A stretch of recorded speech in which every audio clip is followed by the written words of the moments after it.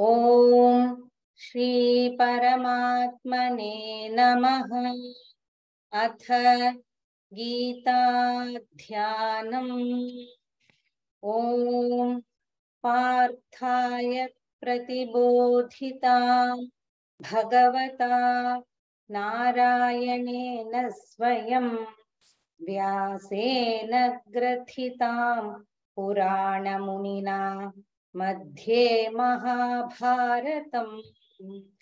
अद्वैतामृतवर्षिणीं भगवतीम् अष्टादशाध्यायिनीम् अम्ब त्वामनुसन्दधामि भगवद्गीते भवद्वेषिणी नमोऽस्तु ते व्यासविशालबुद्धे फुल्लारविन्दायतपत्रनेत्र येन त्वया भारततैलपूर्णः प्रज्वालितो ज्ञानमयः प्रदीपः। प्रपन्नपारिजाताय स्तोत्रवेत्रैकपाणये ज्ञानमुद्राय कृष्णाय गीतामृतदुहे नमः।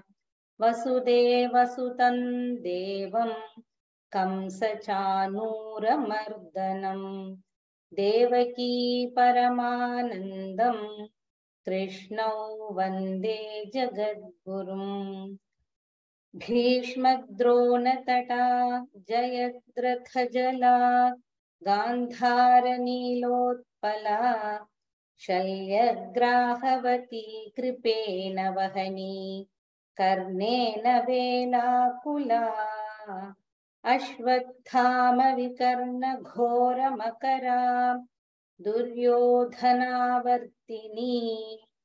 सोत्तीर्णा खलु पाण्डवैरणनदी कैवर्तकः केशवः पाराशर्यवचः सरोजममलम् गीतार्थगन्धोत्कटम् नानाख्यानककेसरम् हरिकथा सम्बोधनाबोधितम् लोके सज्जनषट्पदैरहरहः पेपीयमानं मुदा भूयाद्भारतपङ्कजम् कलिमलप्रध्वंसिनः श्रेयसे मूकं करोति वाचालं पङ्गुल्लङ्घयते गिरिं। वंदे परमानन्दमाधवम्। गीताशास्त्रमिदं पुण्यं यः पठेत् प्रयतः पुमान्। विष्णोः पदमवाप्नोति भयशोकादिवर्जितः। गीताध्ययनशीलस्य प्राणायामपरस्य च नैव सन्ति हि पापानि, पूर्वजन्मकृतानि च। मलनिर्मोचनं पुंसां जलस्नानं दिने दिने। सकृद्गीताम्भसि स्नानं संसारमलनाशनम् गीता सुगीता कर्तव्या, किमन्यैः शास्त्रविस्तरैः।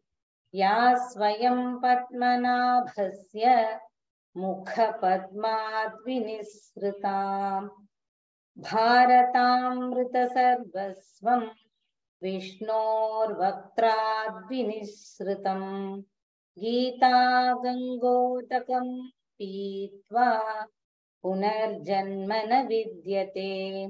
सर्वोपनिषदो गावः दोग्धा गोपालनन्दनः।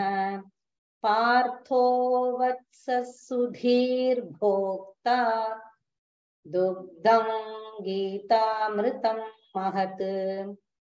एकं शास्त्रं देवकीपुत्रगीतम् एको देवो देवकी पुत्र एव। एको मन्त्रस्तस्य नामानि यानि कर्माप्येकं तस्य देवस्य सेवाम्। शान्ताकारं भुजगशयनं पद्मनाभं सुरेशं विश्वाधारं गगनसदृशं मेघवर्णं शुभाङ्गम्। लक्ष्मीकान्तं कमलनयनै योगिभिर्ध्यानगम्यम् वंदे विष्णुं भवभयहरं सर्वलोकैकनाथम्।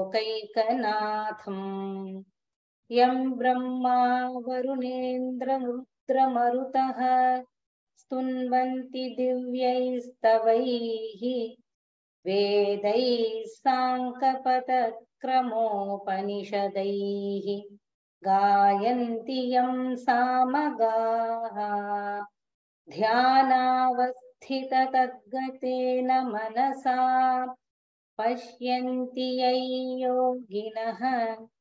यस्यान्तन्न विदुः सुरासुरगणाः देवाय तस्मै नमः। इति गीताध्यानं सम्पूर्णम्